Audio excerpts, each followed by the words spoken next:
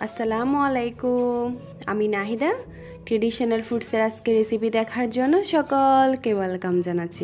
আজকের এই পর্বে আপনাদের জন্য থাকছে ডিমের কুরমা কিংবা ডিমের সাদা কুরমা। আশা করি আমার আজকের এই রেসিপিটি আপনাদের ভালো লাগবে। তবে রেসিপিটি আপনাদের সাথে শেয়ার করার আগে যারা এখনও পর্যন্ত আমার চ্যানেলটিকে সাবস্ক্রাইব করেননি প্লিজ আমার চ্যানেলটিকে সাবস্ক্রাইব করে দেন। পাশে থাকা বেল ক্লিক করেন যাতে আমি কোনো রেসিপি আপলোড করলে তা আপনারা সাথে সাথে পেয়ে যান। চলুন এবার দেখে নিই রেসিপি আমি এখানে আটটি ডিম নিয়েছি সিদ্ধ করে। এরপর একটি ফ্রাই প্যানে এক টেবিল চামচ পরিমাণ তেল দিয়ে ডিমগুলো সামান্য ভেজে নেব। তবে ভেজে নেওয়ার আগে এগুলো একটু চুরির সাহায্যে দাগ কেটে নেবেন। এতে করে যখন আমি রান্না করব, ঝুলগুলো তার মধ্যে ঢুকবে এবং খেতেও খুব মজা লাগবে। এবার আমি ডিমগুলো একটু লোতে রেখে চুলার আঁচটা এগুলো একটু ভেজে নেব। আমি জাস্ট হ্যান্ডেলটা ধরে নেড়ে চেড়ে।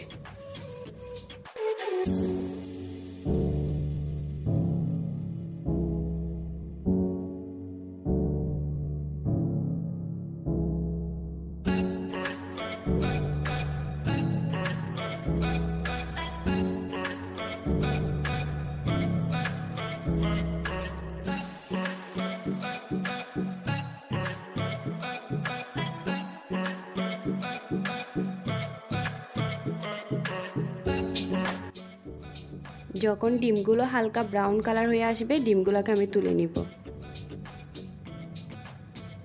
এখন রান্নার জন্য যা নিয়েছি। এর নিয়েছি হাফ কাপ পেঁয়াজ গ্রেট করা, এক টেবিল চামচ রসুন বাটা, ওয়ান স্পুন আদা বাটা ওয়ান স্পুন পাঁচফোড়নের গুঁড়া, ওয়ান টেবিল চামচ ধনিয়া গুঁড়া, ওয়ান স্পুন হলুদের গুঁড়া, ওয়ান টেবিল চামচ মরিচের গুঁড়া, ওয়ান টেবিল চামচ নারকেল বাটা। নিয়েছি সামান্য দারচিনি, চারটা এলাচ, তিনটা লবঙ্গ, কয়েকটা তেজপাতা। টমেটো কুচি আর পোলাও পাতা নিয়েছি কয়েক টুকরা আর মরিচ কুচি। নিয়েছি সামান্য লবণ আর এক কাপ দুধ লিকুইড দুধ। এখন আমি প্রেবানে তেল দিয়ে নিব। রান্নার প্রসেসিং শুরু। এবার দিয়ে দিব গ্রেট করা পেঁয়াজ। এগুলো হালকা নেড়ে চেড়ে যখন একটা ফ্লেভার আসবে, এরপর বাকি মশলাগুলোও এড করে দিব আমি। চুলার আঁচটা মিডিয়ামে থাকবে।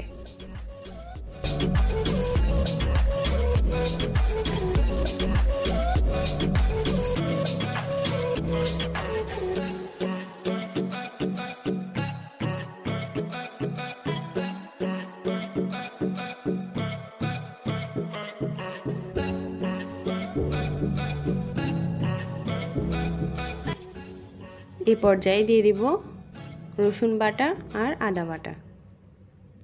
এরপর এগুলোও ভালোভাবে নেড়ে চেড়ে নিব।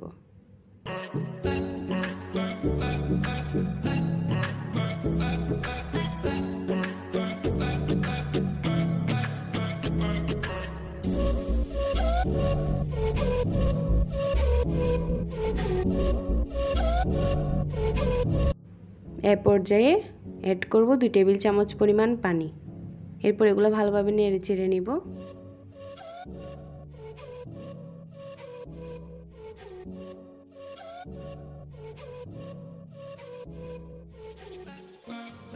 এখন দিয়ে দিব বাকি মশলাগুলো।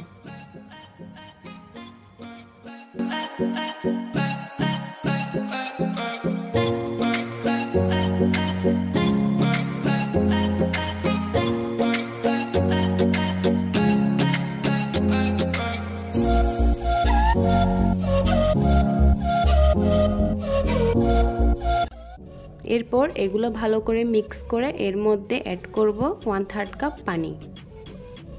পানি দেওয়ার কারণে মশলাগুলো পুড়ে যাবে না। একটু ভালোভাবে মিক্স করে নেবে। এরপর ডেকে দিব দশ মিনিটের জন্য মশলাগুলো কষে যাওয়ার জন্য। এরপর দশ মিনিট পর এগুলো একটু নেড়ে চেড়ে দিব, মশলাগুলো কষে গেছে। এই পর্যায়ে তেজপাতা, এলাচ, লবঙ্গ, এগুলো সব দিয়ে দিব। দিয়ে ভালো করে মিক্স করে নিব। এরপর আবার ডেকে দিব যাতে এর ফ্লেভারগুলো চারিদিকে ছড়ে যায়। এরপর একটু নেড়ে চেড়ে দিব এরপর অ্যাড করব এর মধ্যে কাঁচামরিচ। কাঁচামরিচ দেওয়ার কারণে একটা সুন্দর ফ্লেভার আসে।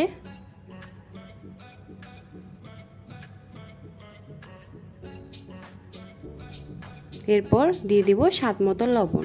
লবণটা আপনারা দেখেই দিবেন। এরপর এড করব প্রায় এক কাপ পরিমাণ পানি। যেহেতু আমি এখানে দুধ ইউজ করব, ওই জন্য আমি এক কাপ দিয়েছি। আপনারা যদি দুধ ইউজ না করেন, তাহলে দু কাপ পানি দিবেন। এরপর আমি আবার ডেকে দিব পনেরো মিনিটের জন্য। পনেরো মিনিট পর দেখবেন এগুলো একটা ফ্লেভার ছড়িয়েছে। এরপর দিয়ে দিব টমেটো। টমেটো দিয়ে আবার ডেকে দিব পাঁচ মিনিটের জন্য, যাতে টমেটোগুলো গলে যায়। একটা সুন্দর কালার চলে আসবে। এবার একটু নেড়ে ছেড়ে নিব। এরপর এর মধ্যে দিয়ে দিব লিকুইড দুধগুলো। এগুলো একটু ভালো করে মিক্স করে নিব। এরপর আবার ডেকে দিব দশ মিনিটের জন্য। এতে করে দুধের কাঁচা ভাবটা চলে যাবে। আর এগুলো সম্পূর্ণভাবে রেডি হয়ে যাবে। দেখবেন কালারটাও চেঞ্জ হয়ে গেছে। এই পর্যায়ে দিয়ে দিব পোলাও পাতা। আমি চুলার আঁচটা হাইয়ে রেখেছি। আবার ডেকে দিব পাঁচ মিনিটের জন্য যাতে এর ফ্লেভারটা চড়ায়। এখন দিয়ে দিব ডিমগুলো।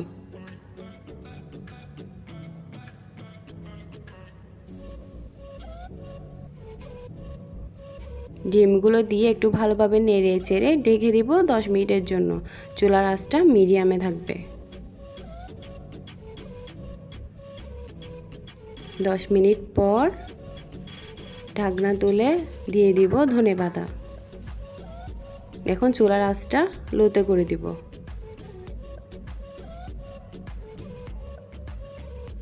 পাঁচ মিনিট পর আবার দেখবেন কালারটা সুন্দরভাবে উপরে চলে এসেছে, দিয়ে দিব প্যারেস্তা এখন সম্পূর্ণভাবে রেডি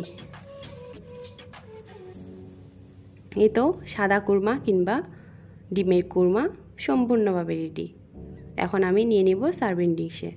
আশা করি আজকের আমার এই রেসিপিটা আপনাদের ভালো লেগেছে। যদি ভালো লেগে থাকে, তাহলে প্লিজ একটি লাইক দিবেন। আমার পাশে থাকবেন, আমাকে সাপোর্ট করবেন, আমার জন্য দোয়া করবেন। আগামী পর্বে আমন্ত্রণ জানিয়ে আজকে আমি বিদায় নিচ্ছি। ভালো থাকবেন, সুস্থ থাকবেন। আল্লাহ হাফেজ।